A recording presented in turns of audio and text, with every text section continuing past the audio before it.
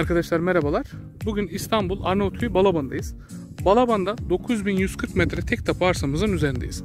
Arsamızın en önemli özelliği göl manzarası, orman manzarası ve deniz manzarası olması arkadaşlar. Konum itibariyle de İstanbul Havalimanı ve asrın projesi olan Kanal İstanbul'a araçla 10 dakikalık mesafededir.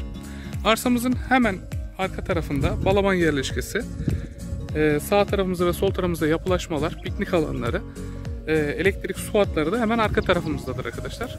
Köye çok yakın konumdadır. Ama dediğim gibi en önemli özelliği göl manzarası, orman manzarası ve tepe konumda olmasıdır. Alan arkadaşlara şimdiden hayırlı olsun.